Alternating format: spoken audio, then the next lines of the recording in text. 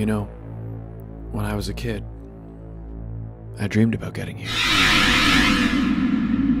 Central Command, this is Delta Squad Leader requesting permission to dock. I think we all did. Приближаюсь к обозначенному сектору.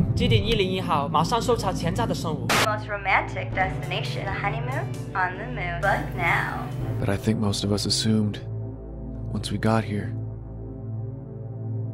there would finally be peace. We're clear. Let's talk. I guess we should have known better. How did these things infect every layer of our defenses without us even noticing? Pull up, pull up, you gotta pull up.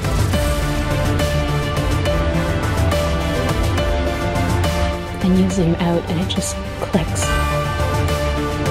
This could trigger an international incident. Give the order. I have no idea how deep this goes.